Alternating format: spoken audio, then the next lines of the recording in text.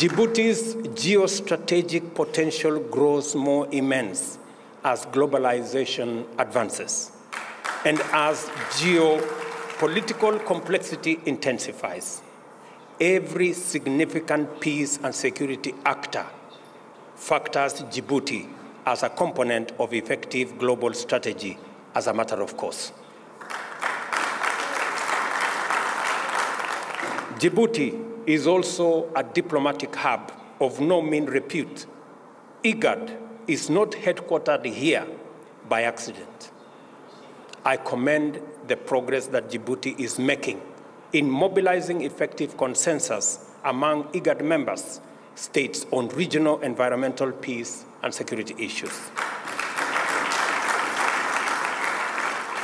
I also appreciate Djibouti's role under the leadership of His Excellency President Ismail Omar Guelleh in leading the fact-finding mission to assist in the resolution of maritime dispute with a friendly neighbor.